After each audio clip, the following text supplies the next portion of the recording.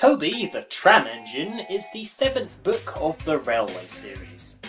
Written by Wilbert Awdry and illustrated by Clarence Reginald Dalby, it was first published in 1952. 32 years later, three of the book's four short stories were adapted into three short episodes during the first series of Thomas the Tank Engine and Friends. How faithful were these adaptations? Let's see if we can spot the differences.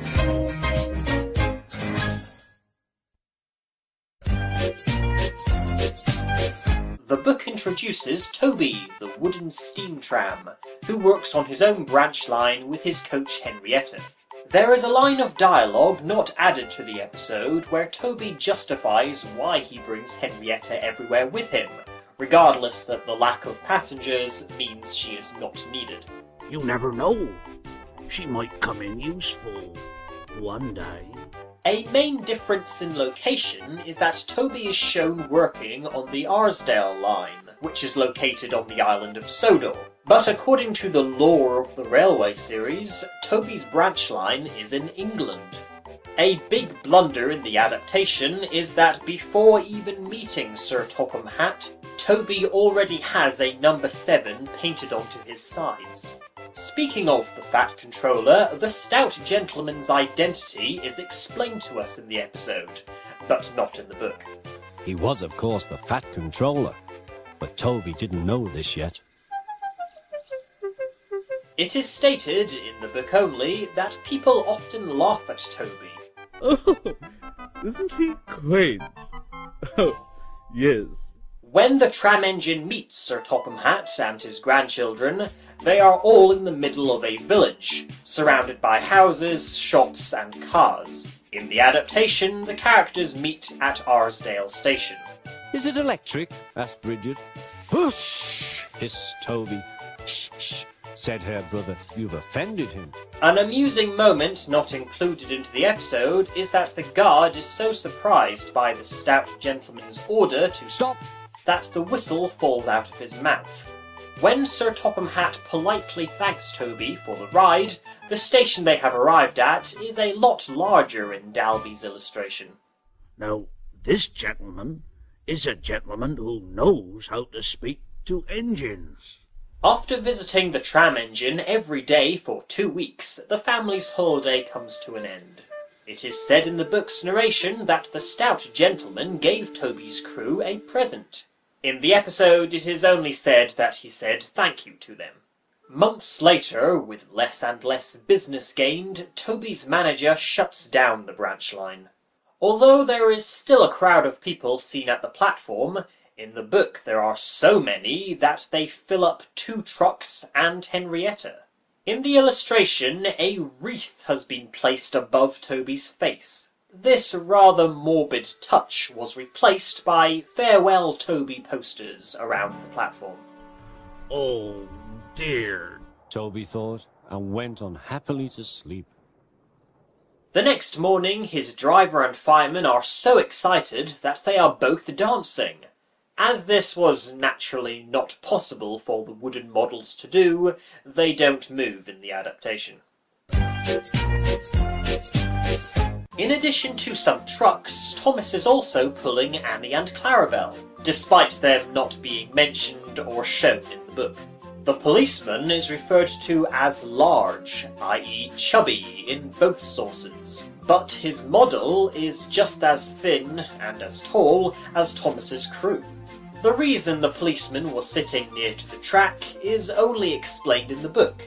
He was shaking a stone out of his boot. Ah, ah. Where's your cow catcher, huh? I don't catch cows, sir. Don't you try to be funny with me, young fella, me lad. An error in the adaptation is that the policeman is shown to have written a regular lawbreaker in his notebook well before it is said he did so. Then that makes it worse, don't it? Thomas puffed sadly away. The layout of the Fat Controller's dining room looks rather different to how it appears in Dalby's illustration.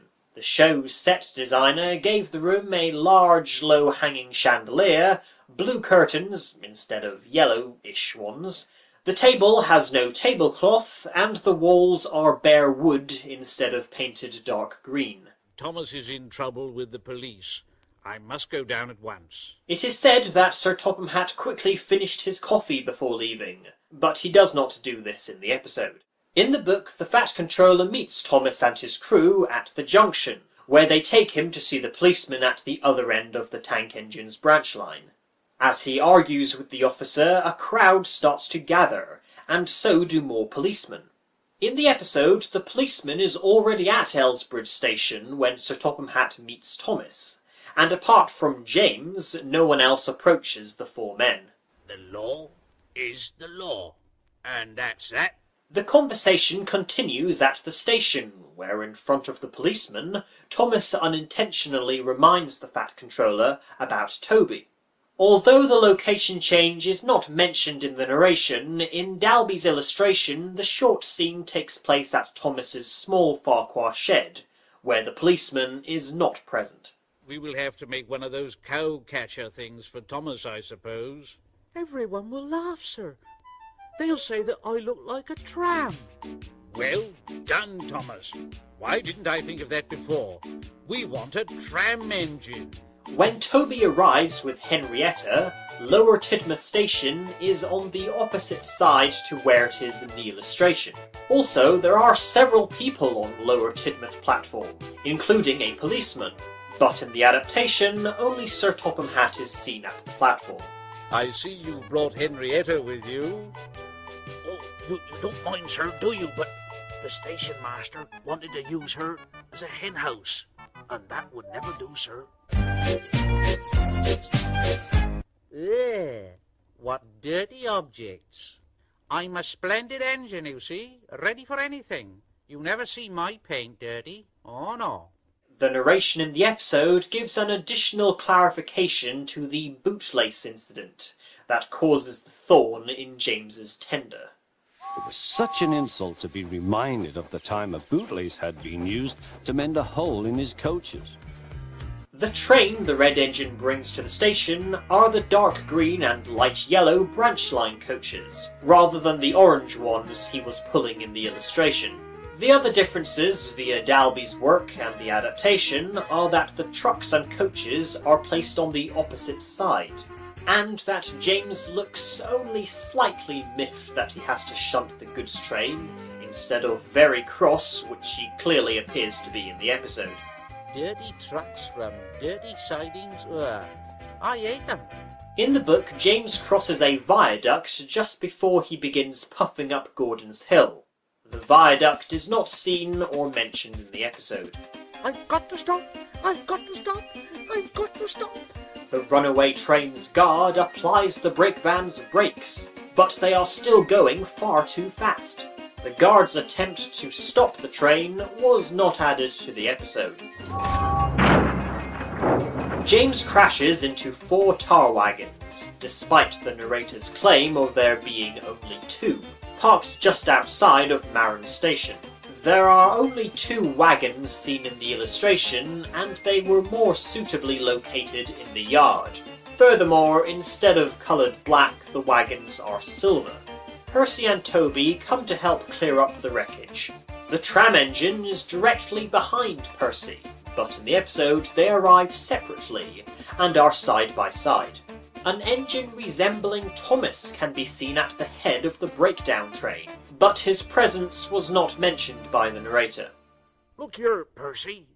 Whatever is that dirty object there? Oh, uh, that's James, Toby. Didn't you know? It's James's shape, all right. But James is a splendid red engine, and you never see his paint dirty, do you? In the adaptation, the tar covered engine is facing the other way round. In the book, when Toby asks if Henrietta can be given a fresh coat of paint, the Fat Controller agrees, adding she will be painted brown like Annie and Clarabelle. This was possibly an error by the author, as Thomas's coaches are orange, or at least a very light brown. Speaking of colour, from this story forward, Toby's paint is a darker shade of brown, and his side plates are dark blue. The tram engine was never given such a colour upgrade in the TV series. The book's fourth and final story, Mrs. Kyndley's Christmas, was never adapted for Thomas and Friends.